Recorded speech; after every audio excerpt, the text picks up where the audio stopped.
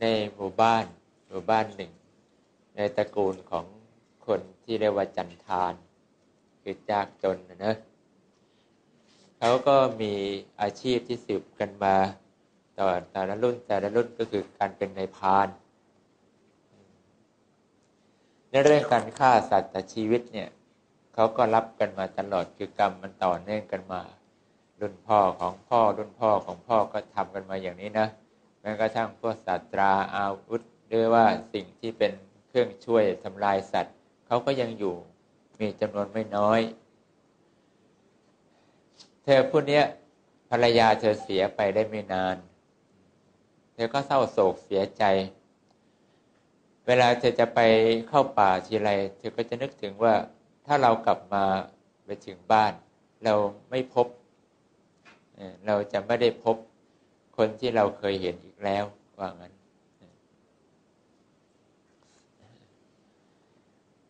ไอตอนที่จะฆ่าสัตว์ขึ้นมาในคราวใดนะแกก็นึกถึงว่าเมียแกเนี่ยจากแกไปมันน่าสงสาร และไอ้พวกเนี้ยถ้าหากมันมีลูก มันมีผัวมันมีเมีย และเราไปพัดภาคจากมันขึ้นมา มันคงเสียใจมันอย่างเรามั้งว่าอย่างนั้นแกง้างธนูอย่างเนี้ย ก็ว่าจะปล่อยลูกธนูไป ก็เพื่อว่าได้เนื้อได้หนัง มันก็เป็นค่าครองชีพของเขาใช่ไหมไอ้ครั้งจะปล่อยมันไป ปล่อยลูกออกไป แล้วถ้าเกิดโดนมันตาย แล้วแม่มันสามีมันหรือใครต่อใครที่เคยเป็นญาติมันมันจะคิดยังไงแกก็เลยไม่กล้าที่จะปล่อยลูกธนูไปสักที สุดท้ายแกก็ลด คันสอน แล้วก็ปฏิญาณตัวเองว่า เราจะกินเฉพาะเนื้อที่ถูกล่าแล้วเท่านั้น เราจะไม่เป็นคนล่า นี่เอ็นเนื้อที่ล่าแล้วก็เหมือนกับพวกที่เสือเนี่ยมันไปกินพวกสัตว์ที่มันชอบอย่างเช่นกวางอย่างเช่นเก้งเนี่ยนะมันกินมันกินไม่หมดหรอก มันก็จะเหลือซากไว้ ทีซากบางซากมันก็ยังเพิ่งผ่านใหม่ ๆ ผ่านไปใหม่ ๆ นะไอ้นั่นแหละเขาก็จะไปเอาเนื้อก้อนนั้นนะเอามา หลายวันผ่านมาเขาก็ยังไม่มีความรู้สึกว่าคุ้นเคย คือไม่คุ้นเคยกับการอยู่คนเดียวไม่คุ้นเคยกับความรู้สึกที่มันมันแห้งหายไปอะมันเคยสดใสอะ กลับมายังได้เห็นรอยยิ้มของของคนที่เป็นภรรยา อย่างเงี้ยยังมีเสียงหวานๆคอยทักทานพี่มาแล้วลื่นน้ำเย็นๆพี่มาทานนะเออเงี้ยเอาโน่นเอานี่มาเดี๋ยวดิฉันช่วยหยิบช่วยถือบ้าง คือมันยังมีเรื่องราวที่เขาเคยรู้แล้วก็เคยสัมผัสได้เนี่ยมันเป็นภาพติดก็เป็นในจิตใจของเขาตลอดไอ้ภาพเหล่านี้มันไปเสียดแทงความรู้สึกที่เขาขาด ราะว่าเขารู้สึกว่าตอนนี้เขาขาดมันขาดหายไปจากชีวิต เหมือนมีชีวิตก็เหมือนไม่มีชีวิตที่จะอยู่ไปเพื่ออะไร การที่เราจะไปกินเนื้อที่ไปคอยตามดูเจ้าเสือเจ้าสัตว์อะไรที่มันกินเนื้ออื่น แล้วมันทิ้งซากแล้วเราก็คอยเอาเก็บมานะเยอะนักก็เอาไปแบ่งทำเป็นของแห้งไปขายบ้างแลกเอาอย่างอื่นที่มาใช้บ้างในชีวิต หรือว่าน้อยก็เอามากินเฉยๆ ก็ก็ว่าไอการที่เราต้องไปทนทำอย่างเนี้ยไม่เห็นมันจะได้ความสุขอะไร มันไม่เหมือนสมัยก่อน สมัยก่อนเราล่ามันมา เราก็ยังรู้สึกว่ามีความสุข สุขที่เห็นมันตาย สุขที่เห็นมันเป็นอาอาหารของเราได้ แล้วก็สุขที่เราสามารถเอาไปขายได้ ยังมีคำชื่นชมมาจากคนที่รักว่าพี่เก่ง พี่นี่สามารถ วันนี้พี่ได้มาเท่าไหร่ ได้มามากไหมมันอย่างนั้นคนที่มันคิดอยู่คนเดียวอะ มันมันสามารถที่จะเครียดได้ไหมมันก็เครียด แต่ในความเครียดของเขามันก็ไม่ถึงขั้นเป็นคนไร้สติ เพราะว่าไม่ใช่ผู้หญิง ผู้ชายไงก็เป็นในพรานเนี่ยจะเป็นผู้หญิงยังไงอะงงนะ งงเพราะเองฟังงงแล้วว่าข้าพูดงงตกลงนะอ๋อ เองงงว่าทำไมผู้หญิงจึงไร้สติ ผู้ชายจึงมีสติเพราะผู้หญิงชอบใช้สตังจึงไร้สติ ผู้ชายต้องคอยให้สตังเลยต้องมีสติไม่ได้ อยู่ไหน เออเนี้หายงงละ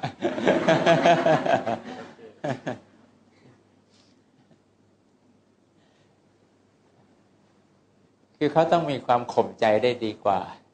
แต่ถ้าเป็นอิสตรีบางทีการสูญเสีย คนที่รักจากไปเนี่ย มันทรมานมากเพราะว่ามันมีความโหยหามากกว่า เหมือนท่าน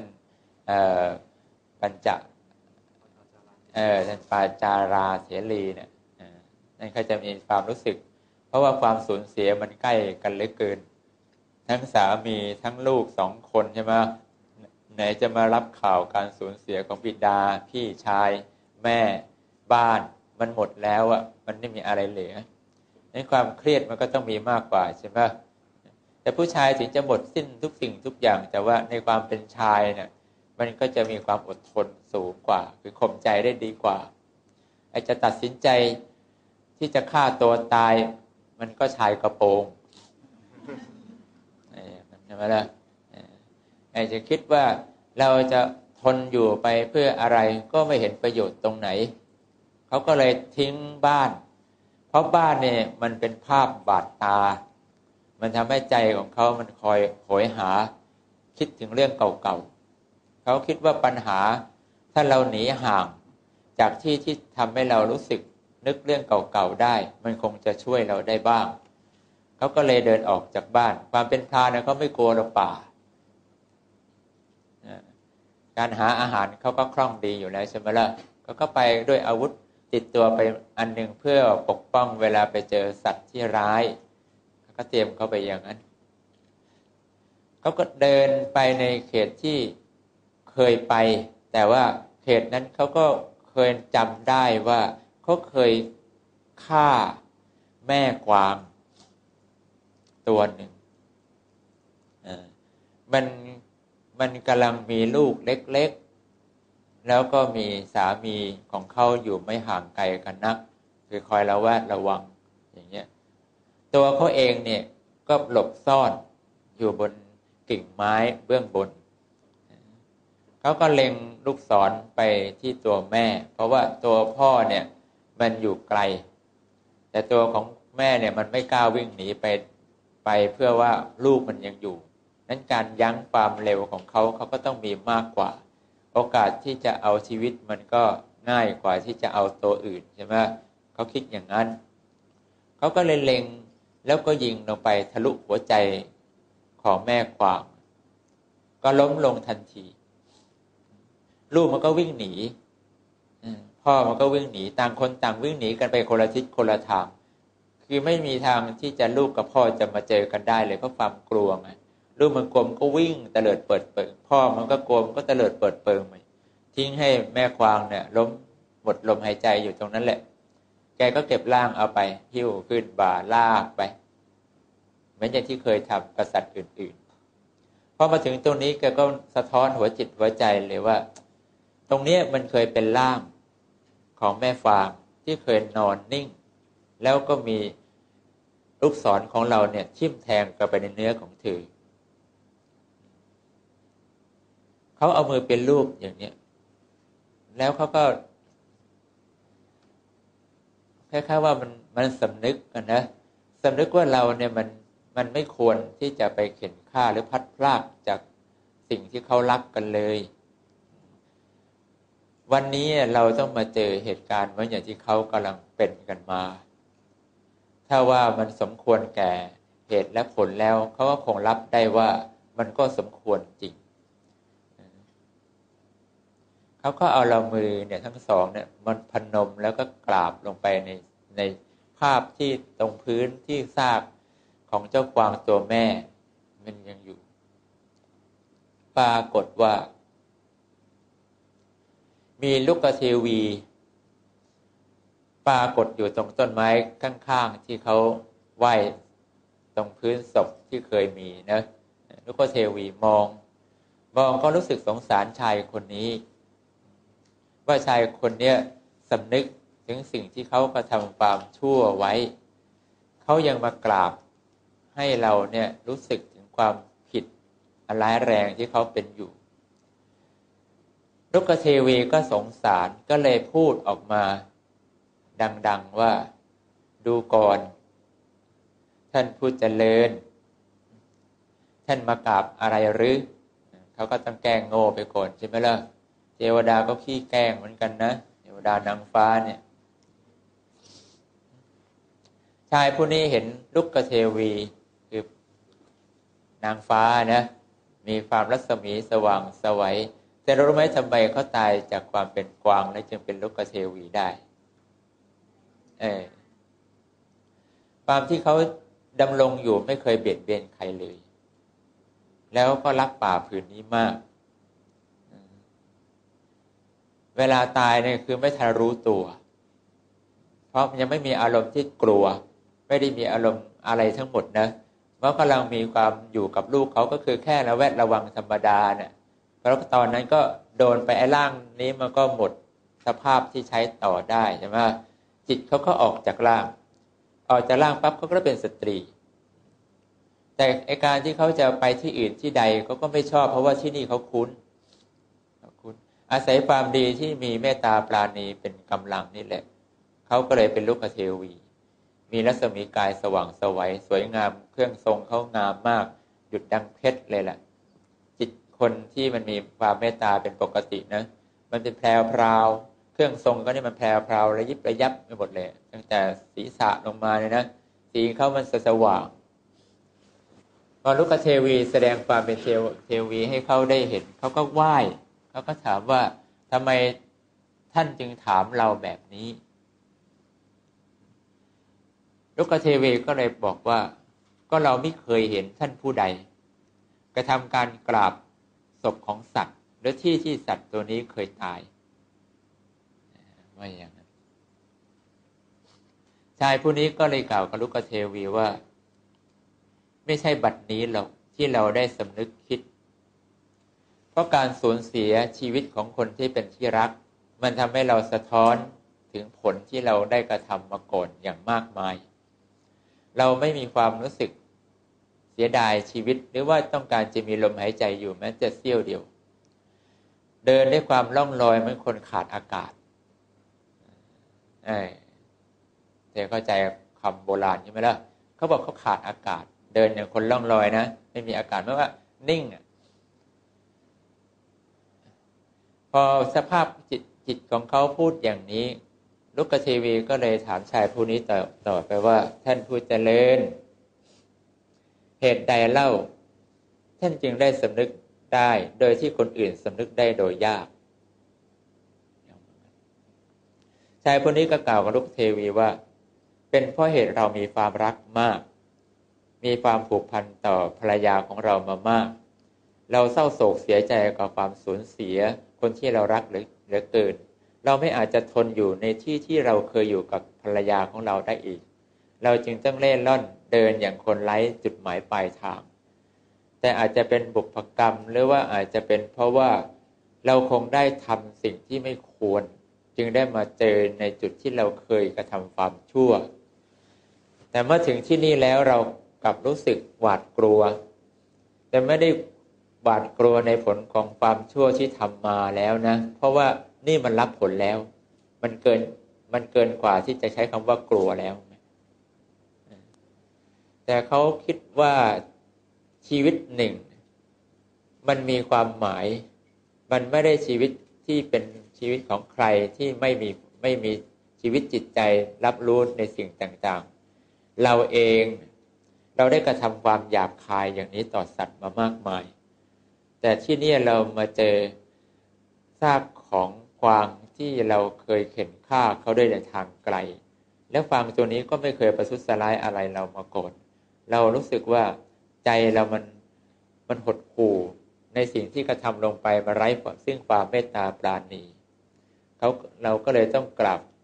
ในความดีที่ที่ว่าเธอเนี่ยไม่เคยเลยที่จะมาเข้ามาในความฝันของเรา ไม่เคยมาใช้วาจาหยาบคายตำหนิจิตเตียนในสิ่งที่เราทำต่อเธอเลย ตั้งแต่เราได้เอาซากของเธอไปเป็นอาหารก็ดี เอาไว้เป็น ที่ขายเพื่อแลกสิ่งอื่นสิ่งใดมาก็ตามที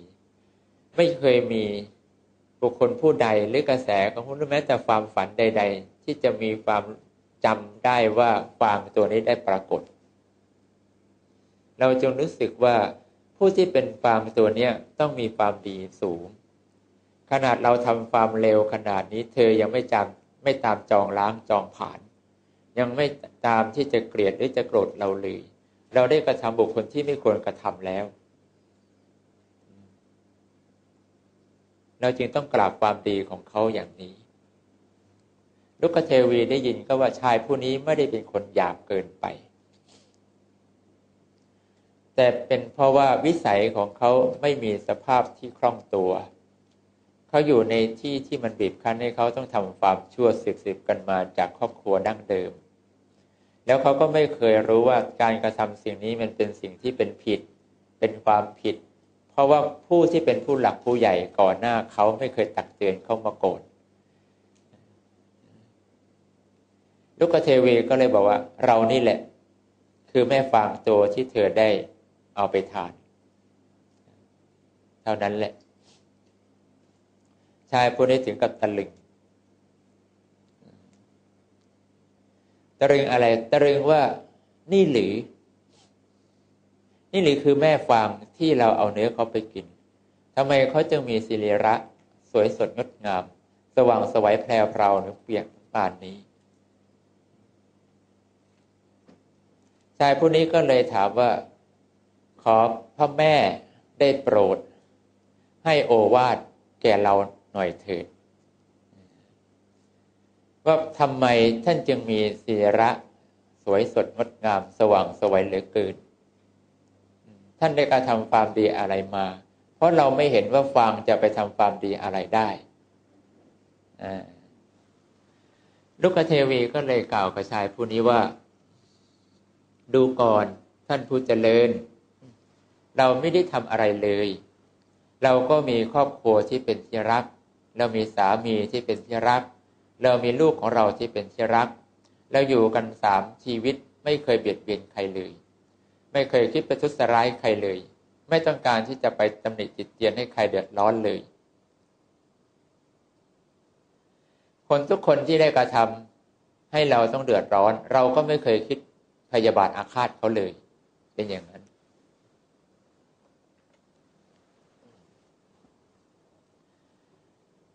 ชายผู้นี้ก็เลยถามว่า เพียงเท่านี้เลยหรือ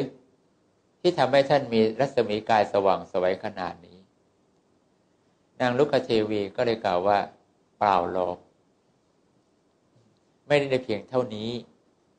เรามีความรักและปรารถนาดี เราไม่เคยคิดที่จะทำให้ใครคนใดคนหนึ่ง ต้องเดือดร้อนเพราะเราเลย ไม่ว่าสามีเราก็ดี ลูกของเราก็ดี หรือเพื่อนที่อยู่ กันในสภาพของความเป็นเนื้อสัตว์ด้วยกันก็ดี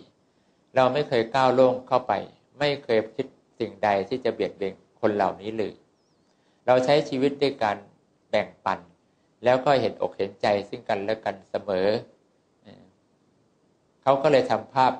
เมื่อครั้งที่เขาเป็นแม่ฟังให้ชายผู้นี้ดูว่าเมื่อก่อนนี้ เรายังเป็นสาวรุ่นว่างั้นเป็นที่ต้องความ พึงปรารถนาแห่งความหนุ่มทั้งหลาย เราก็ไม่อาจจะหนีความจริงที่ชายเหล่านี้พึงปรารถนาเราไว้เป็นคู่ จริงอยู่เขาเราว่าชายเหล่าเหล่านี้มีทั้งดีเป็นที่น่าชื่นใจ เป็นทั้งผู้ที่พยายามจะดีเพื่อให้เราสบายใจ เป็นผู้ได้กระทำความหลอกใจเราให้รู้สึกว่าเขาต้องการเพียงเท่านั้น ต้องการเพียงเท่านี้ แต่เขาไม่ต้องการสิ่งนี้เขาหลอกเรา หมายความว่าอะไร นี่อธิบายนะ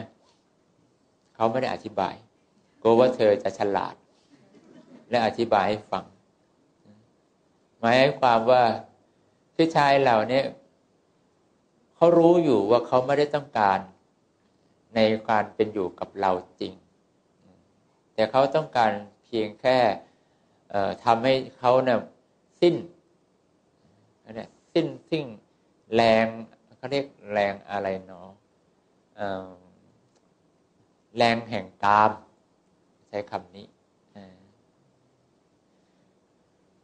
แต่เราไม่เคยที่จะรังเกียจชายเหล่านี้แม้แต่ผู้เดียว เราใช้วาจาที่ดีกับคนกับชายทุกคนที่เป็นฟางอย่างนี้ทุกตัวที่เข้ามาสู่เรา คำหนึ่งที่เราพูดกับชายผู้นี้ทุกชายก็หมายความว่า เราปรารถนา แต่ในความปรารถนาของเราไม่อาจจะให้ท่านทั้งหลายนั้นพึงพอใจ ท่านช่วยตอบหน่อยว่า ในความปรารถนาของเราที่ทำให้ท่านไม่พึงพอใจคืออะไรว่าอย่าง ชายความทุกตัวที่อยู่ในอารมณ์หมกมุ่นก็มีชายที่มีความขสันก็มีชายที่มีความคิดซับซ้อนก็มี ก็ไม่สามารถจะตอบเขาได้ว่าอะไร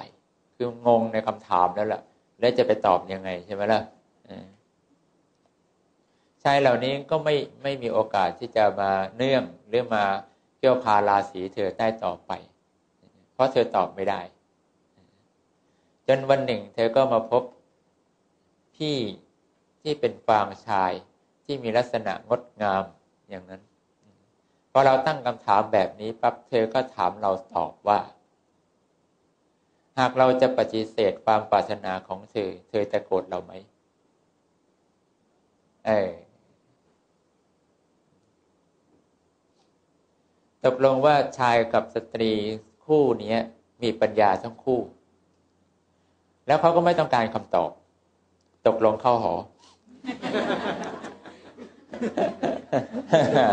ตกลง ตกลงจบเขาก็บอกว่าชีวิตของเขาเนี่ย ไม่ได้กระทำความเบียดเบียนต่อผู้ใด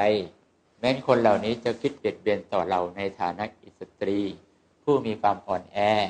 หรือว่าเป็นที่สนองความใคร่ของคนเหล่านี้ได้ก็จริง แต่เราก็ไม่เคยเกลียด แล้วก็ไม่เคยโกรธ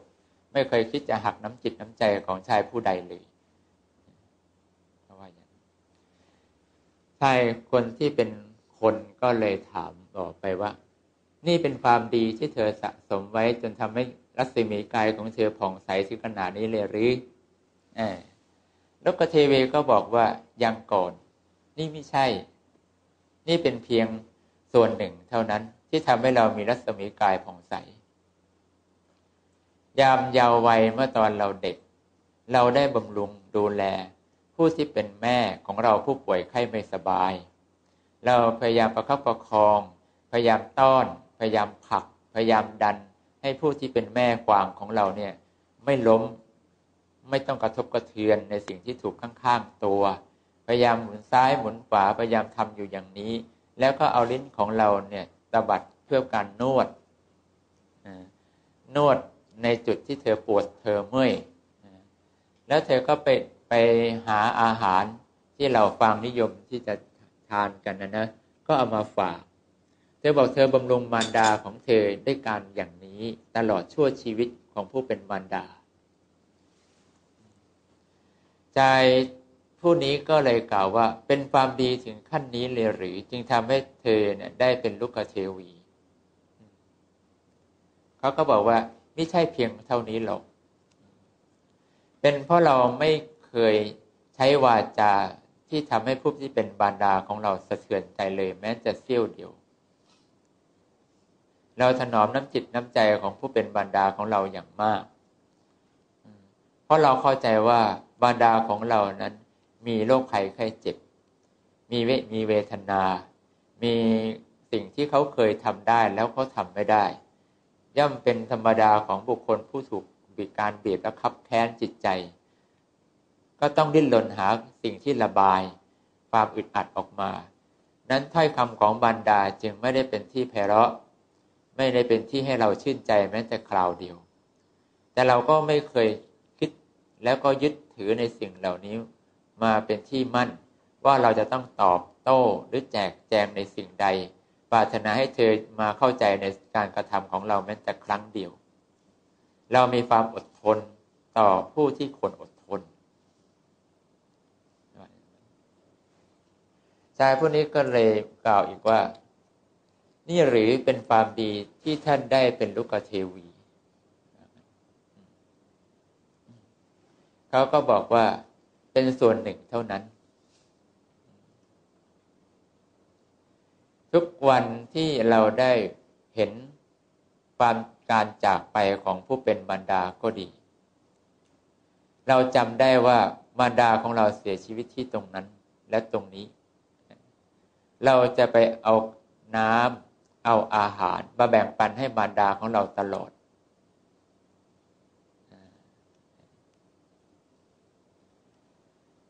ชายก็คิดพิจารณาถึงสตรีที่อยู่ข้างหน้าว่าทำไมเขามีคุณความดีมากมายเหลือเกิน เรานี่มันไม่มีเศษเสี้ยวทุลีในความดีที่เธอมีเลย การที่เราได้กราบลงไปสมควรแล้ว เราได้กราบลงไปนั้นสมควรแล้ว แม้คราวนี้เราขอกราบเธออีกครั้งเถิดชายก็ก้มลงกราบลูกเทวี แล้วลูกเทวีก็เลยกล่าวกับชายผู้ว่า ดูก่อน ท่านผู้เจริญ ความดีแห่งเราไม่ใช่ว่าคนทั่วไปจะประพฤติไม่ได้ ความดีอย่างนี้เราได้ศึกษามาแต่ก่อนที่จะมาเกิดเป็นกวาง เราได้อบถูกอบรมบ่มนิสัยจากผู้ที่มีความสมรวมในอินทรีย์ เป็นผู้มีความระมัดระวังผลของความชั่ว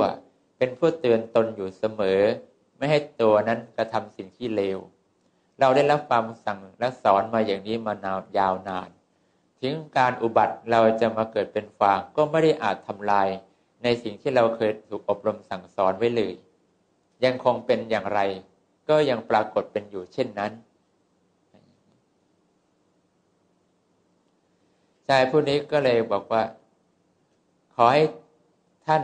จงมาเป็นแบบเป็นอย่างแห่งเราเถิดช่วย กล่าวถ้อยคำวาจาอันเป็นคาถา แนะนำในการเดินแห่งเราให้พ้นจากความเดือดร้อนในใจเดี๋ยวนี้ได้ไหมลูกเทวีก็บอกว่าเราไม่มีความรู้ ที่จะชี้ทางให้ท่านได้ ขอให้ท่านได้เดินทางไปทางนี้เถิดจะมีนักพจน์ ผู้ที่เป็นฤาษีได้ประพฤติตนในพรหมจรรย์ แล้วก็ทรงพรหมิหารอยู่เป็น เป็นนิด มีชีวิตอยู่ด้วยความไม่ดิ้นรนและกระสับกระส่าย ทรงไว้ด้วยความเผื่อแผ่และความเห็นต่อ คนและสัตว์ทั้งหลายด้วยความเมตตาตลอด ขอให้ท่านจงไปที่นั่นเถิดว่าอย่างนั้น เขาก็เลยเดินตามทางที่ลุกเทวีชี้ไป ไปสักระยะหนึ่งก็ใช้เวลาประมาณสักสามชั่วโมงได้ เขาก็พบปากถ้ำ ถ้ำเนี่ยมันเป็นถ้ำที่สว่างจากปล่องข้างบน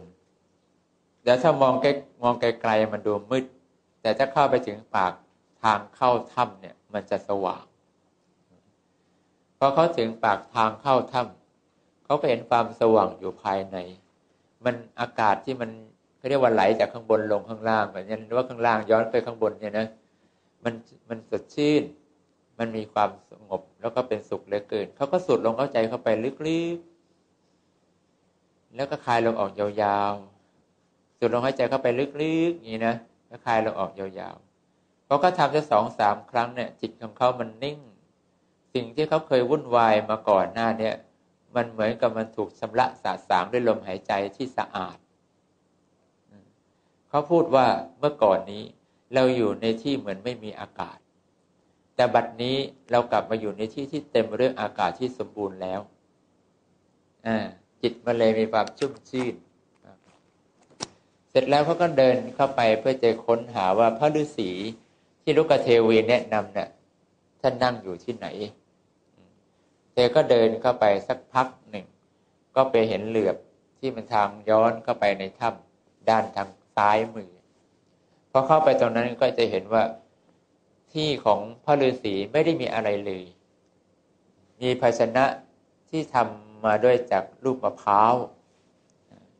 ไว้สำหรับเก็บน้ำไว้ทาน มีภาชนะที่ทำด้วยไม้ ถูกวางผลหมากลากไม้เอาไว้เล็กๆน้อยๆ มีที่หลับที่นอนที่เป็นพื้นประกอบไปด้วยหินกุกขระ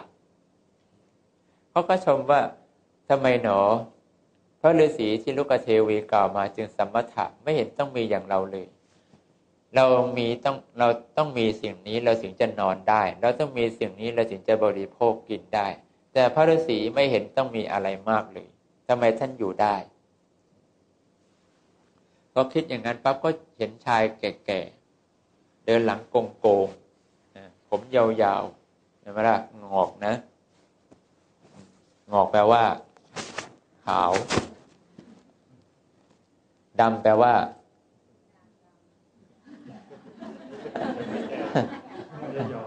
อะไรนี่ก็แปลว่าอ่างงอกคือไม่งอก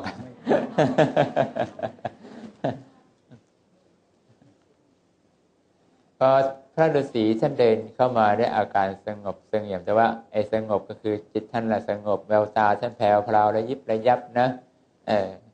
แต่ท่านอายุเยอะเดินหลังไม่ตรงเนี่ยผมเขาท่านก็ขาวยาวอย่างเงี้ยนะข้างบนท่านก็มวยมวยไว้ แล้วก็มีพวกกิ่งไม้ทำให้มันก็เรียกไปขัดกับพวกเหล็กไอ้ปุ๊ไอ้หินเนี่ยให้มันเป็นมนดีแล้วก็เอามาเสียบไว้เสียบที่มวยผมเหมือนกันนะแล้วก็คลองพวกเสื้อผ้าที่เป็นพวกหนังสัตว์ที่มันถูกทิ้งแล้วอะ หมายถึงว่าสัตว์เหล่านี้มันจะมีสัตว์พวกกินเนื้อกินอะไรใช่ไหมล่ะแต่บางตัวมันก็ไม่กินหนังไปด้วยไงหนังมันก็ยังเหลือนี่พอหนังมันเหลือถ้าก็เอามาตากเอามาแช่น้ำเอามาทำให้มันฝาดเพราะว่ามันมีพวกแร่หินบางอย่างที่อยู่ในถ้ำเนี่ย มันสามารถย้อมให้หนังเนี่ยมันมีนิ่มได้ตลอด หลังจากนั้นก็ใช้พวกของของแหลมๆที่มันอยู่แถวนั้นน่ะที่อาจจะเป็นหินแหลมๆก็ได้ก็เจาะเจาะแล้วก็ใช้ไอ้นี่ยอะไรเถาวัน นะมาทำให้มันบางไปไปสีกับหินที่มันเป็นบากคล้ายๆมีดอะค่อยๆกรีดกรีดบางแล้วก็เราให้เล็ก เหมือนเส้นได้เรียกว่าเหมือนเส้นลวดเล็ก ๆ แล้วก็ลอยไปลอยมาลอยมาลอยไป เย็บจนกลายเป็นพอปิดบัง เนื้อหนังมังสาได้ละครนี่ละเอียดไปหน่อยไหมกลัวไม่เห็นภาพ เดี๋ยวนี้ก็พระฤาษีไปซื้อเสื้อแถวพันละก้อนมาใส่เกาะไปนู่นพันละก้อนนี่นะไปซื้อหนังหมาหนังเสืออะไรมาใส่มั้งพอชายชราที่หนุ่มเขาเห็นมาเขาก็ระน้อมใจแล้วก็ระน้อมตัวเข้าไปหาไปประคองร่างพระฤาษีแล้วก็มีไม้ค้ำหน่อยมากก็ประคองร่าง แล้วก็ไปนั่งบนแท่นหิน ชายพวกนี้ก็น้อมจิตใจก็เรียกว่านั่งนั่งท่าคุกเข่าเอาเข่าขึ้นยันไม่ได้คุกนะแล้วก็มือพนม อย่างเงี้ยกล่าวถ้อยคำวาจาว่า พระผู้มีความเจริญแล้วขอได้โปรดประทานความเมตตาต่อลูก ผู้เหมือนกับ ผู้เหมือนกับตกเป็นเหยื่อ แห่งสัตว์ร้ายมานาน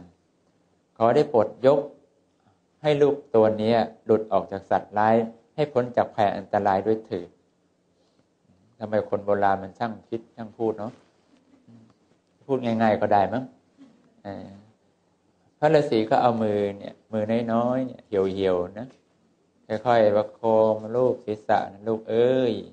แต่ฉันพูดไม่เหมือนท่านนะท่านคงสั่นวันนี้ลูกเอ้ยว่างั้นนะเออ เองนะ่ะมันมีวาสนากับข้าข้าเนี่ยอยู่ที่นี่ก็รอเองมา เองรู้ไหมว่าข้ารออยู่ที่นี่กี่ปีแล้วชายหนุ่มก็เลยถามว่า แล้วปู่รออยู่ที่นี่กี่ปีแล้วขอรับ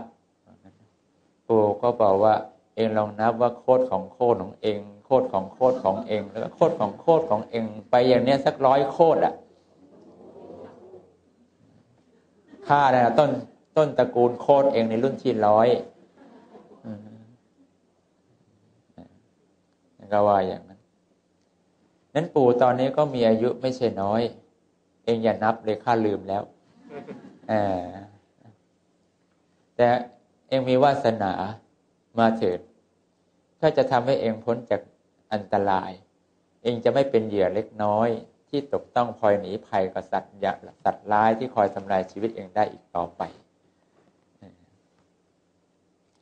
สุดท้ายเขาก็เริ่มต้นภาวนาตน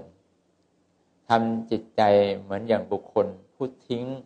ความอะไรอาวรณ์จากภายนอกทั้งหมด ไม่ย้อนไปหาความรู้สึกในสิ่งที่ผ่านมาแล้ว ไม่คำนึงถึงสิ่งที่จะตามมาในเบื้องหน้า เพราะไม่มีความหวังอะไร อยู่ในความตั้งอกตั้งใจว่าบัดนี้เราจะทรงไว้ ซึ่งผมมิหารปู่ท่านสอนอย่างนั้นนะ ว่าเธอจงทรงไว้ซึ่งผมมิหาร มันเป็นคุณธรรมของเราผู้เป็นฤาษีท่านก็ลองคิดแล้วก็ตัดสินใจตามนั้นว่าเป็นของไม่ยาก เพราะการเป็นฤาษีแบบเนี้ยมันถูกจริตนิสัยมาก่อน ในความเป็นอยู่ที่ไม่ได้จิตสุขจิตสบายมาแล้วใช่ไหมล่ะอยู่อย่างนี้ก็ไม่หนักใจ อีกประการหนึ่งเรื่องที่จะคิดไปสิ่งที่ผ่านมาแล้วก็ไม่มีอะไรที่ให้คุณให้โทษกับเราอีกต่อไปแล้ว เพราะว่ามันจบจากใจเราไปแล้ว เหตุและผลที่เคยรู้สึก ทุกข์ใจกับการสูญเสียผู้เป็นที่รัก มันก็ถูกชำระไปด้วยผลของกรรม ที่ได้เห็นกับ กับตาของเขาเองว่าเขานี่แหละเป็นผู้กระทำความพัดพลากเองดังไอการสูญเสียแบบนี้ก็เลยทำลายความคิดความรู้สึกความโหยหา ความกังวลกับสิ่งที่ชีวิตเราจะอยู่ยังไง มันหมดสิ้นไป เอ้แปลกดีนะนิวรณ์ไม่กวนใจ แล้วถ้ามองไปถึงชีวิตที่จะต้องกระทำในเบื้องหน้าเขาก็ไม่มีอะไร เพราะว่ามันหมดสิ้นแล้ว ในการที่จะอยู่ เพราะอยู่ไปเราก็ไม่ต้องการมีภรรยาใหม่ ไม่ได้อยู่ไปเพราะต้องการดิ้นรนหาสิ่งที่เป็นอาหารที่การเข็นฆ่าแบบนี้อีก เราหยุดแล้วระวังนั้น ความชั่วเช่นนี้เราสะท้อนใจเราหยุดสิ้นแล้ว นั้นบัดนี้เราจึงเป็นบุคคลที่ว่างหมายความว่ากิจที่ต้องทำในเบื้องหน้าไม่มี กิจที่ต้องคิดกับสิ่งที่ผ่านมาแล้วไม่มี กิจที่มีอยู่สิ่งเดียวคือคิดถึงพรหมิหารสี่แล้วก็เจริญสมณธรรมเหมือนอย่างที่ปู่สอน เวลาผ่านไปไม่นานนะประมาณสามเดือนเต็ม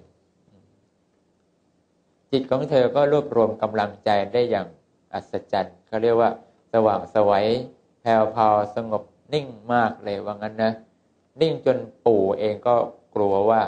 ถ้าปล่อยให้นิ่งอยู่อย่างนี้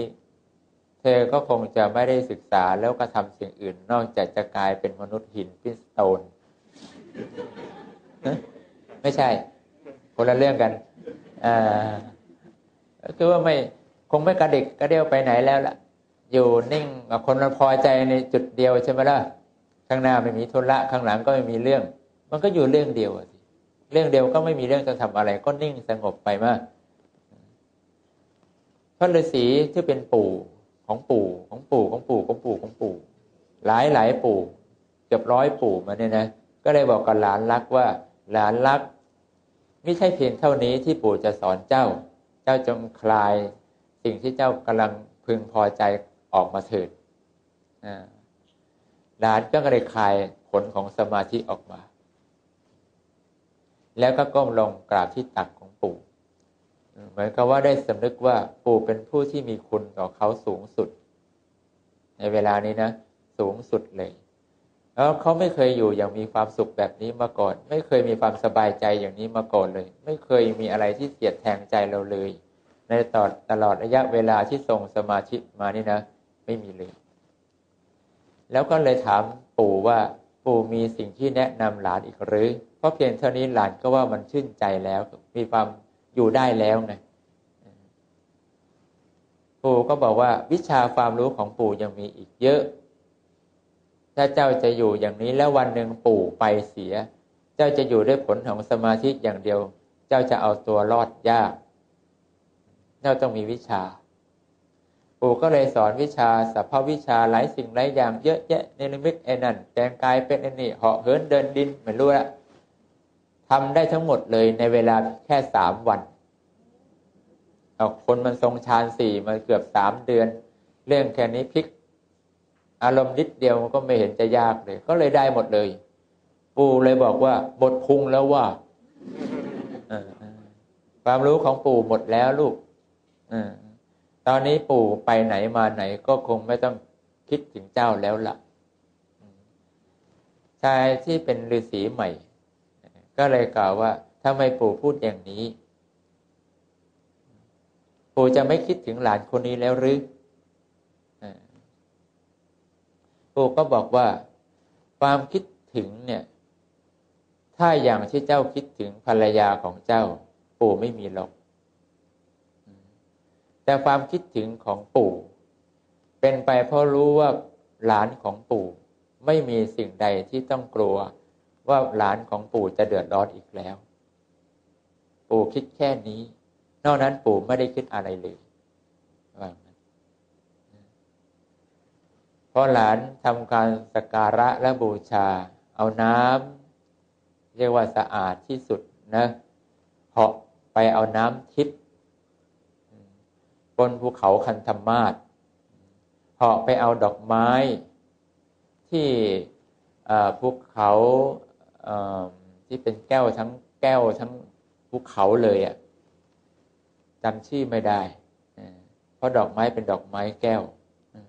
เหาะไปเอาภายชนะของเหล่านางฟ้าบนสวรรค์ชั้นดาวดึง แล้วก็นำมาบูชาต่อผู้เป็นปู่ของท่านคือเป็นครูบาอาจารย์ หลังจากนั้นน้ำนี่คือน้ำทิพย์ที่มีกลิ่นหอม หอมด้วยดอกไม้ ภาชนะก็สวยสดงดงามดุดดังแก้ว ทุกอย่างมันแปลพรามาก เขาก็สโลมน้ำเนี่ยชำระร่างกายของปู่เช็ดถูอย่างดีนะทำความสะอาดดูและทำทุกอย่างทำตั้งแต่หน้านะลงมาถึงแขน แล้วก็ลงมาที่ขา แล้วก็ที่เท้า หลังจากนั้นพอถึงเท้าเขาก็เอาภาชนะรองรับน้ำจากเท้าของปู่ แล้วก็ตั้งสัจจยาธิฐานกับปู่ว่า ปู่หมดห่วงหลานได้แล้ว หลานไม่มีความคิดที่จะปฏิเสธ ในเส้นทางที่ปู่ให้อีกต่อไป ขอน้ำชิปนี้เสมอหนึ่ง เป็นพรของปู่ เขาก็ดื่มทานลงไป อทานเข้าไปแล้วมันมันซาบซ่านไปทั้งทั้งกายของเขานะ มันทำให้กายของเขามันเกิดแสงระยิบระยับพุ่งออกมาเนี่ยออกมาเป็นทางสว่างสวัยหมดเลย สว่างสวัยในแสงมันพุ่งมาจากในถ้ำเลยขึ้นไปบนสวรรค์ชั้นชั้นจาตุมหาราชเลยขึ้นไปบนสวรรค์ชั้นดาวดึงสเทวโลกน่ากลัวจะเวอร์ไอ้นี่นิทาน มาเล่า ตามใจคนเล่าเหอะก็เลยเป็นที่ตกใจของเหล่าเทวดานางฟ้าทั้งหลายว่าแสงอะไรทำไมมีแสงสว่างสวยพุ่งขึ้นมาในที่ของเราอยู่บรรดุคำพลศีลาอาจที่ท่านพระอินทร์นั่งประทับเป็นประจำ เกิดแข็งกระด้างขึ้นมา ท่านปู่ก็เลยส่งแว่น ไปซื้อแว่นมาชิ้นร้านนะไม่เอาเดี๋ยวก็หาว่าโฆษณาเขาเดี๋ยวเดี๋ยวข้ากระโดดท่านเตะเอาหรอกไม่ใช่อย่างนั้นท่านก็ใช้ชิปเนตของท่านตรวจดูว่าทำไมเกิดอะไรขึ้นทำไมเทวดานางฟ้าจึงบกเวกวายวายพูดกันเป็นเสียงเดียวกันว่า มีแสงอะไรสาดส่องเข้ามาในอนาบริเวณบนสวรรค์ชั้นดาวดึงสเทวโลกได้ใช่ไหมล่ะแต่พอท่านตรวจในชิตตุกุยานปั๊บท่านก็เห็นว่ามีชายผู้หนึ่งแสดงความเคารพต่อบุคคลที่ถือเป็นคณาจารย์และเป็นอาจารย์ของเขาอย่างหมดหัวจิตหัวใจเลยทำให้สิ่งที่มันปรากฏมันสะเทือนขึ้นมาเป็นแสงสว่างสวย ให้คนและให้เทวดานางฟ้าพากัน กล่าวขานว่าบุคคลผู้นี้เป็นบุคคลผู้เลิศเลิศด้วยการรู้คุณของผู้คนที่ให้คุณต่อตนมาอย่างมาก พออย่างพอแสงมันค่อย ๆ จางหายไป เทวดาก็หายงง นางฟ้าก็กลับกลับเข้าวิมานอย่างนั้นนะท่านท่านที่เป็นปู่คือเป็นฤาษี ก็เลยกล่าวว่า ถึงเวลาแล้วลูก ปู่หมดหน้าที่แล้วที่รอเจ้ามานาน ขอให้เจ้าจงบำเพ็ญกิจของเจ้าต่อไปเถิด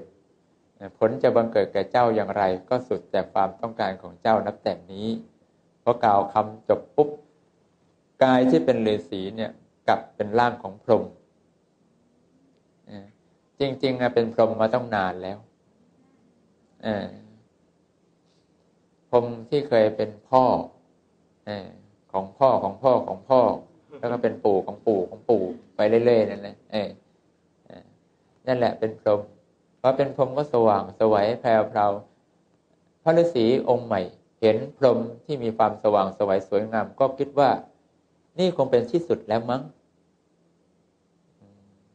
เพราะว่าในในยุคสมัยนั้นยังไม่มีผู้ใดสั่งสอนอะไร ยังไม่มีศาสนาขององค์เสด็จพระศาสดาอุบัติเกิดขึ้นในโลก ยังไม่มีสิ่งใดเลย มันจะเป็นเป็นเพียงการเกิดการตายที่รอพระพุทธเจ้าจะอุบัติเกิดขึ้นในเบื้องหน้า ว่าอย่างนั้น พระองค์นี้ก็เลยกลับไปในสถานที่ของท่านส่วนท่านผู้เป็นฤาษีผู้นี้ก็ได้แต่ตั้งใจคิดที่จะกระทำสิ่งที่ตัวเองได้มาจากครูบาอาจารย์อย่างเข่งครัด หลังจากนั้นภาพ ของท่านก็ดี ภาพของทุกอย่างก็ดีก็จะจบตามที่เราหยุดพูด